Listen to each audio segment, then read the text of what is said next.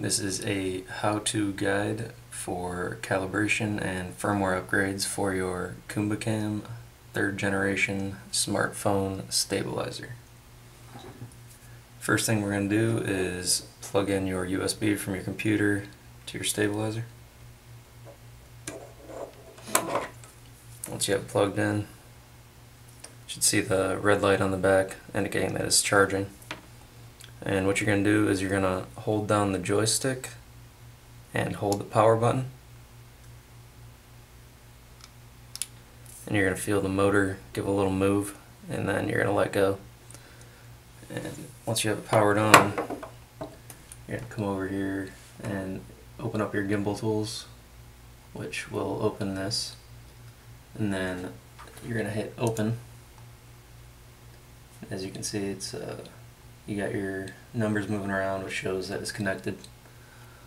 Um, from here you're going to come over to firmware upgrade.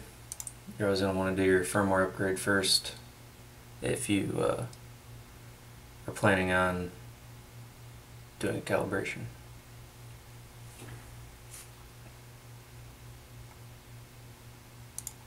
You're to come over here to firmware upgrade um, once you have downloaded the third uh, the third gen firmware from the website, you're going to want to save it to your desktop or just a place you know where it's located, and uh, hit browse. And it's right here on my desktop. It's the PTZ file is what it's going to be 1.50. You're just going to double click it. It's going to come up. Then you're just going to hit upgrade.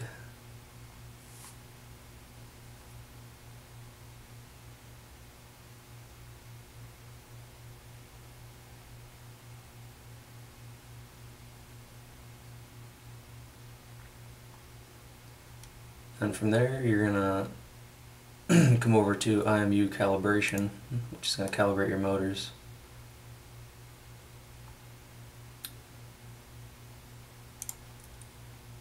And then once that's done, you're gonna go ahead and hit close. You're gonna power off your gimbal and then power it back on, doing the same thing, holding the power button and pressing in the joystick at the same time. You'll get the little movement and then you're going to come back, go over to IMU calibration, hit open, uh, and then you're going to hit calibration. And for step one, I mean, basically you're just going to be following the pictures. And each time you complete a step, it will move on to the next step and give you a different picture that you need to match up for step two, I'm basically going to flip it all the way around.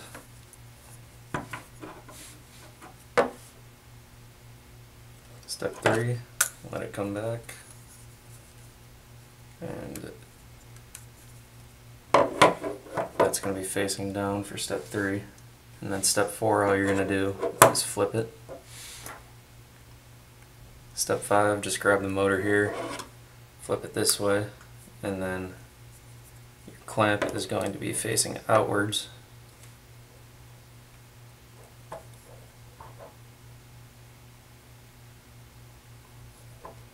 trying to get you a good shot of what this side looks like. There you go. And then all you're going to do for step six is flip the clamp back around, facing in, and that will do it all these it shows the the handle being straight out like that you can actually just rest it on the table so you can make sure that your clamp is level. That's the main thing it's looking at for these motors. And that's uh, you'll get the check mark when you're done and that's about it. Go ahead and hit close. Power it off